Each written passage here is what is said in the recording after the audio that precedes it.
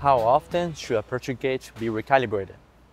Pressure gauges typically require recalibration at regular intervals, often annually, to ensure accuracy and reliability. However, the frequency of recalibration may vary depending on whether the gauge is experiencing vibration uh, pulsation, temperature cycling, environmental uh, corrosion, or other stress-inducing situations. There's black powder inside the case of my pressure gauge. What happened? The presence of black powder inside the pressure gauge case is typically a sign of vibration and pulsation stress on the gauge.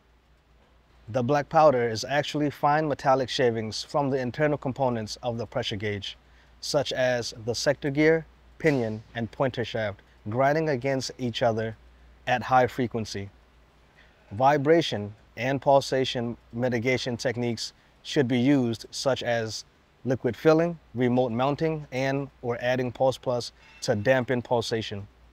I need to recalibrate my liquid fill gauge. What do I do? A liquid fill pressure gauge can be tested and recertified in the same way as a dry pressure gauge.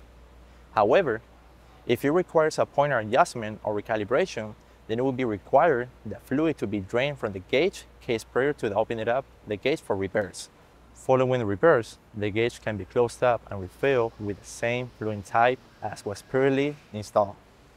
This can be a cumbersome task and occasionally results in the newly repaired gauge experiencing a case leak. Many pressure gauge users opt to replace a filled liquid fill gauge with a new one, rather than undergo the hassle of repairing.